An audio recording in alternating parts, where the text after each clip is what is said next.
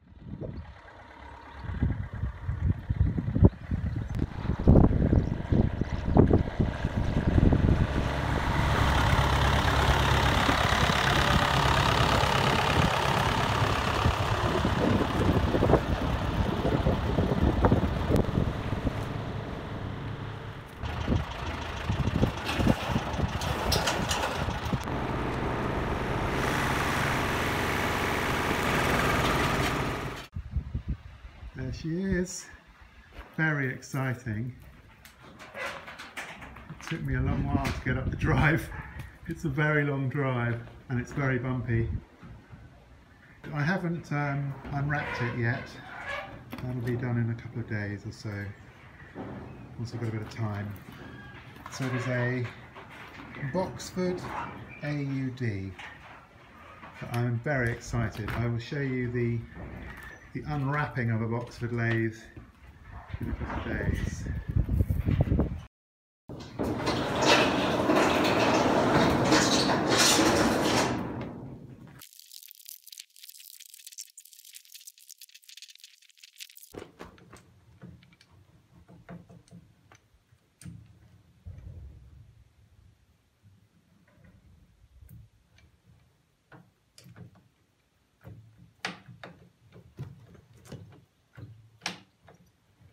Now this is a, a Boxford AUD.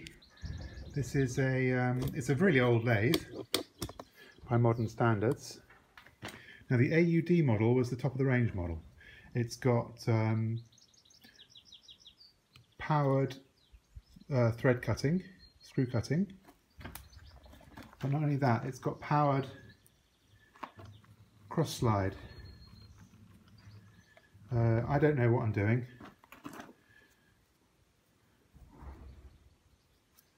I'm literally just twiddling knobs. No idea what they do. I know this is the half nut. Uh, this one. So this, presumably this, this is this engages it with the threaded rod here, and then you engage it somewhere here or here. I don't know. I need to look at the manual, and then you would um, it would move the whole carriage, the whole saddle, in relation to the RPM of the motor. It's, they're, they're all kind of tied together. The RPM of that and the RPM of that. You can kind of have different ratios and it gives you different screw threads, different pitches, that kind of thing. But like I say, I know nothing. But what a lovely little machine. It was a real bargain on eBay because it's old. I think that is awesome. So here's a selection of what came with the lathe. There's a lovely four-jaw chuck, Burnerd. There's a the Pratt chuck, that it's actually the same company I believe. There's a three-jaw chuck on the lathe. Um, some face plates, I've no idea how good the chucks actually are, whether they're worn out or not. Uh, but I considered them as sort of a, a freebie in, in the deal. Lots of high-speed tooling here. Um, I think a lot of it is oversized. I don't think that will fit on my tool post. Um, for someone who's got nothing, it's nice to have a kind of a job lot of possible useful stuff and possibly not useful stuff. So I know what I'm doing. Here's the quick change tool post.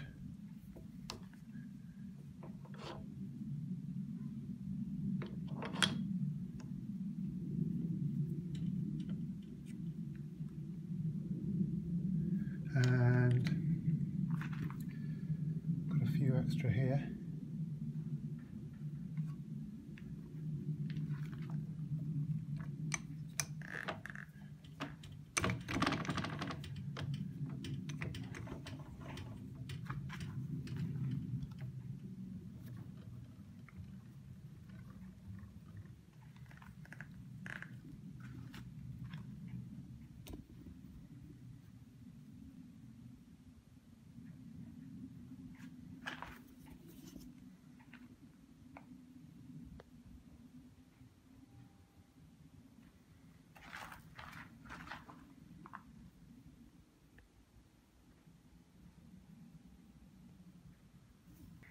The ways look okay, but uh, are a couple of little dings. But the carriage is sort of quite large, so the occasional little ding, it's always going to be here where the work is spinning. I guess this is where it gets damaged the most. But hopefully the carriage, from what I understand, because it's quite a large thing, um, it kind of averages out any little um, dings, as it were. So hopefully that's not too big a problem, There's little dings here. Um, but it seems nice and smooth. I did, I did buy some way oil.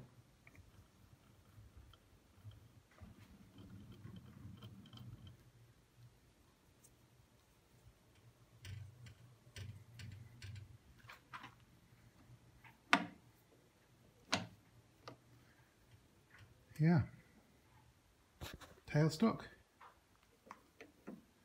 Everything seems nice and smooth.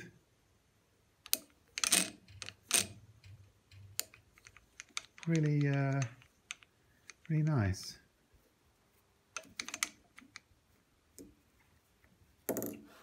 Yep.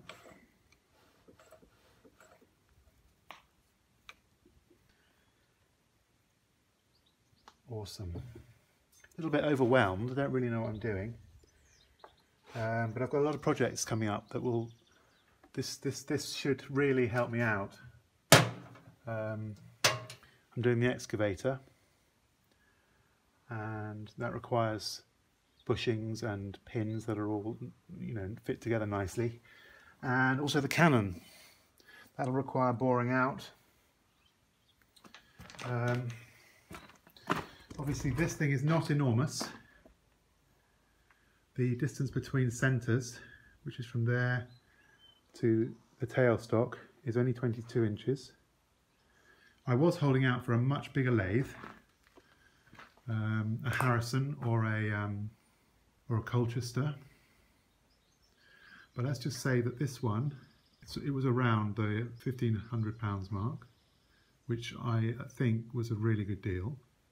I was kind of after a sort of a, well, I was keeping an eye out for a really cheap 40 inch one, which would have been about to here.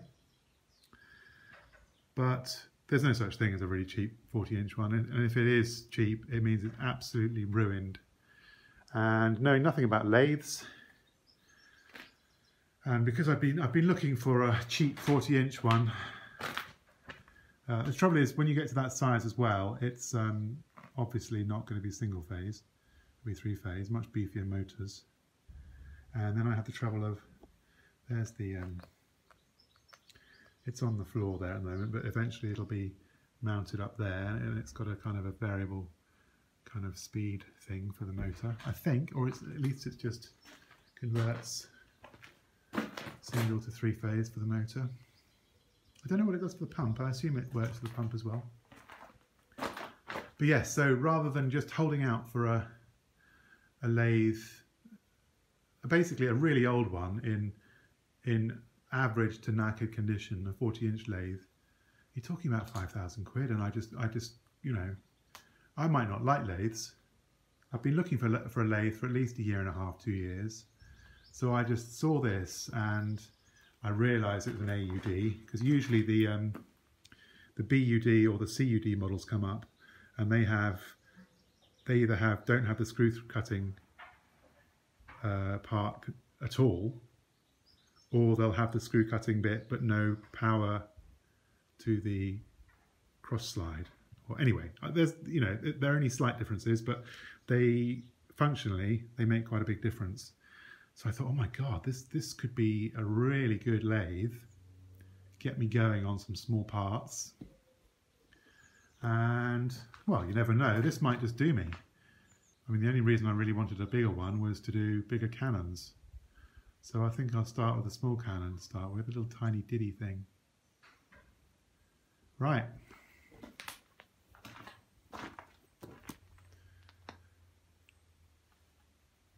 Bye. This is very exciting.